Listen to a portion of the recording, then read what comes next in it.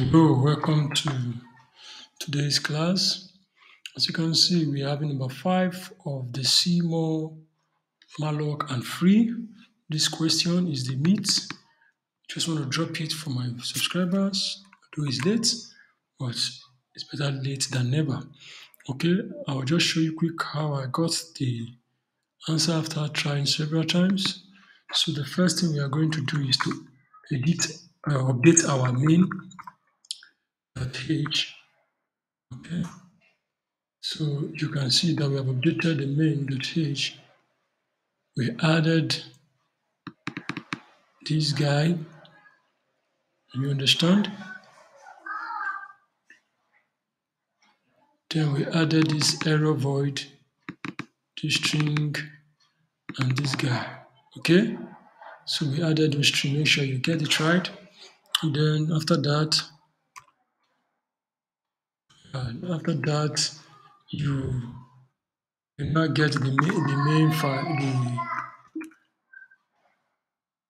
the program, the, the program file, which is what we are going to bring out now. Let's see. Okay, this is the file. I will drop the link of to it, the link to this program, so you can copy the header and the main, this one.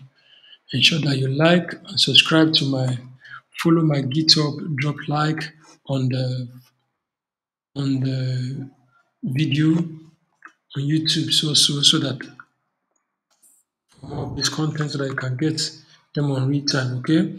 Then after that, you exit. Then the next thing you do is to compile. Okay, you come there, just copy this like this. Okay, when you go back, drop it and you compile. Okay, then you run. So you don't need so you don't need to, this automatically this this one will automatically it is going to be generated in the in the file.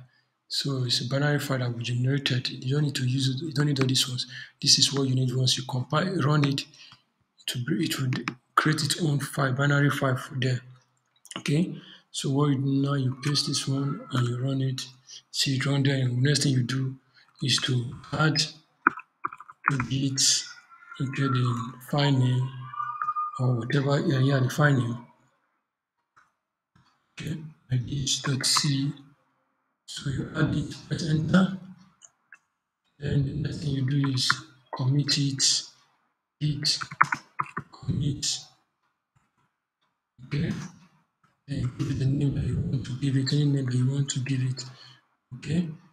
Then the next thing you do is to push it, push. Okay. That's all. So when you do that, you go and check your answer if it's correct.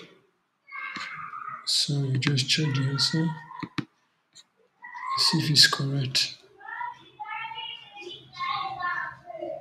Okay. Think is my network or is the determiner that is slow.